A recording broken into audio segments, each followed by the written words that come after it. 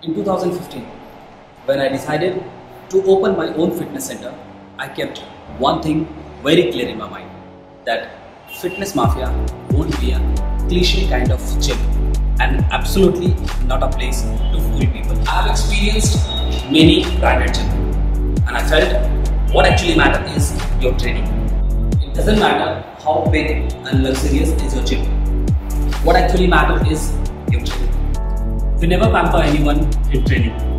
So we can push each and everyone beyond their limits, beyond their capacity. Getting people fit and achieve their fitness goal, whether it is gaining strength, stamina, flexibility, or muscle condition, is our goal. Seeing people transforming them into the avatar, what actually they want to, is our lifetime achievement. 45 days workout challenge with Fitness Mafia can change you internally, externally, both.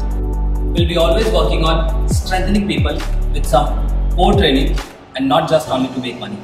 Fitness Mafia will never change its pattern or policy, but yes, we'll always upgrade it. This is my childhood passion, turned out to be my profession.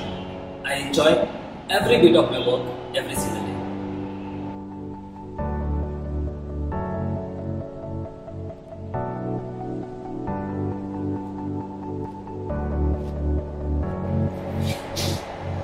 Lyrics Money, Fitness Mafia, Mumbai.